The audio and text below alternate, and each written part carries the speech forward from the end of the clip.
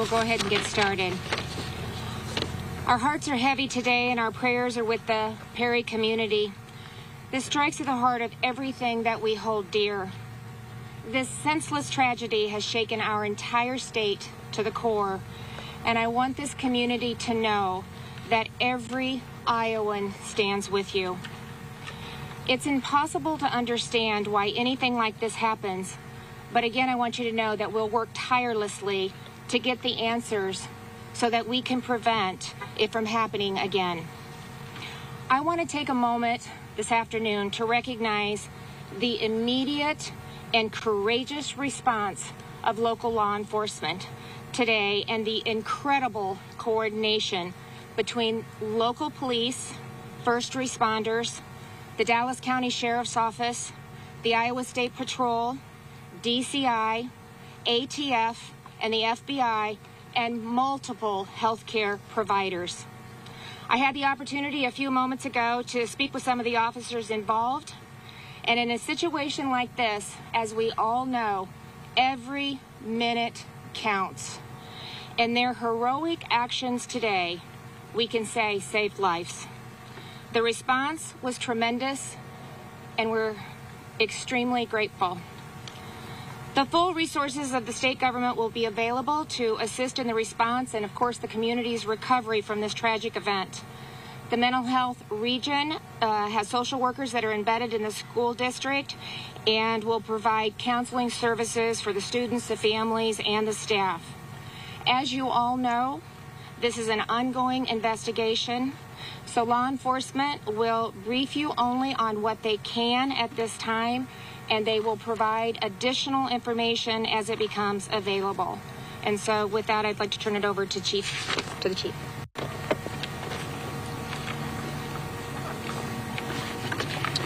Thank you.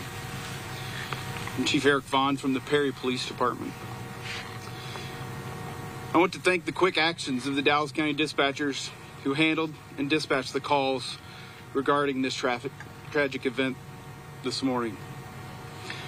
I also want to recognize the initial officers from the Perry and Dallas County Sheriff's Office and their actions on scene. Thank you to the massive response from agencies throughout the area, including EMS, for their assistance today. It is truly amazing to see first responders work together in these crisis situations. And I cannot forget to recognize the teachers, faculty, and students involved who acted bravely and heroically in this tragic situation. Thank you to the community support we have seen and we will continue to need in the future. All of our condolences to the victims and their families.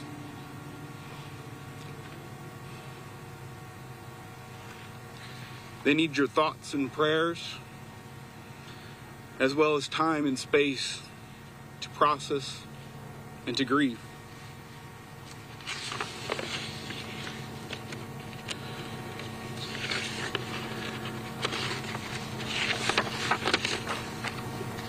This community has been through tough times before and have rallied together. I'm sure this time will be no different. Thank you. I introduce Mitch Mortvedt. DCI. Thank you, Chief. My name's Mitch Mortvedt. I'm an assistant director with the Iowa Division of Criminal Investigation. At 7:37 a.m., excuse me, on January 4th, 2024, the Perry Police Department responded to an active shooter event at Perry High School. Meanwhile, Dallas County Communications was also receiving multiple 911 calls of an active shooter at the high school. Perry police officers responded within minutes. They immediately made entry and witnessed students and faculty either sheltering in place or running from the school. Once inside, they located multiple individuals with gunshot wounds. Officers immediately attempted to locate the source of the threat and quickly found what appeared to be the shooter with a self inflicted gunshot wound. As additional officers responded, a systematic approach search of the school took place. Officers located during the search of the school an improvised explosive device. The state fire marshal and the Bureau of Alcohol, Tobacco, and Firearms rendered the device safe. Numerous officers from multiple agencies were able to secure the school and verify no additional threats.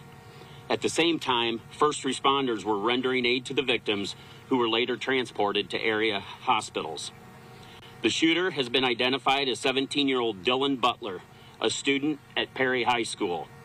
Butler was armed with a pump action shotgun and a small caliber handgun. Butler also made a number of social media posts in and around the time of the shooting. Law enforcement is working to secure those pieces of evidence. All evidence thus far suggests that Butler acted alone. There are six victims, one of them who is deceased. That individual was a sixth grade student at Perry Middle School. The other five are being treated at area hospitals. Four of the surviving student, four of the victim, surviving victims are students, and the fifth is a school administrator. The law enforcement response was swift and immediate. Roughly 150 officers from local, state, and federal agencies responded within the hour. The investigation in today's tragedy is ongoing. The Iowa Division of Criminal Investigation is serving as the lead investigative agency with assistance from the Perry Police Department, the Dallas County Sheriff's Office, the FBI, the ATF, and the Dallas County Attorney's Office. At this time, we will take a few questions. Uh, Mitch, uh, Philip Joens from the Register. Um, I was told by the father of a student who was shot that his son witnessed Principal Dan Marburger be shot. Is he the administrator and what is his condition? The investigation's ongoing, and we're not releasing any other names other than Dylan Butler's name at this time. Can you give us any indication as to motive for this? I know this is ongoing, but I- anything into the background of him is part of the investigation, and we're obviously going to take a deep dive into that. But there's nothing that we can release at this time. Yeah, and can you give us the status of the other uh, five uh, who were in the hospital? Are they stable? Are they critical? It, at this time, it's my understanding, as of about I should say, as of about an hour ago, one was in critical condition but appeared not to be life threatening, and the other four are stable. Is any racial motivation in this shooting? And are there any Latino victims? As far as the ethnicity of the victims, I'm not sure, um, and there's nothing to indicate at this time that it had anything to do with race. Um, as far as motive, again, that's part of the background investigation, and that's something that we're continuing to look into. Sir, excuse me. There's a video online. Is there any uh, any credibility to this video? Maybe this man is the shooter. I haven't seen the video, and that I don't know at this time, but we are, law enforcement is working to secure um, those pieces of evidence, as I mentioned in the statement. So there's nothing more that we can comment on about that. This is the first time that we've heard uh, someone from the middle school being involved in the shooting. Do you have an idea as to the path this uh, this suspect took? It, it all it all happened in the uh, Perry High School, and it was before school started, so there were not many students. And it's our understanding that there was a breakfast program going on, so there may have been students of of different grades, if you will, in the school at that time. But it all was contained in the Perry High School, not in any of the other buildings. How many shots were fired? Weapons. That's still part of the investigation. We're trying to determine that. How sophisticated was the IED? explosive device? I'm s- I'm sorry, one of you. The explosive device? Yes. What else can you tell us? Uh, not much about it, other than it was pretty rudimentary and it was rendered safe by, like I said, the state fire marshal and the ATF. Can I ask a question to the governor? Um, given that the investigation is ongoing and this is a local and state matter, you know, however, the eyes of the world are on Iowa over the next 11 days. How should the candidates running for president talk about what happened? Well, I'll let them- The issue of schools Yeah. I'll let them decide how they're going to talk about it. Uh, we're going to focus on the investigation and we're going to focus on making sure that we provide the resources that the community, the teachers, the staff, those that are involved, the families, that we're providing the resources that they need during this difficult time. So that's what I'm going to be focused on. State of Iowa is going to be focused on, and I'll let the candidates decide what they're going to focus on. Worry they Thank might you. politicize it? Governor, We're going to take no more questions at this time. What, what does the Thank school, you. for school safety for other schools in the area that we're looking at this year? What does school safety look like going forward here in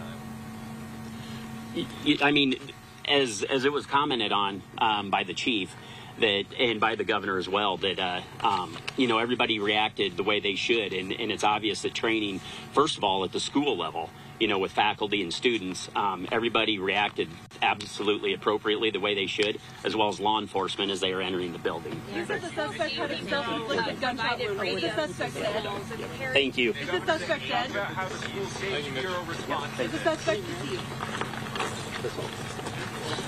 I believe you. Oh. Yeah. Okay.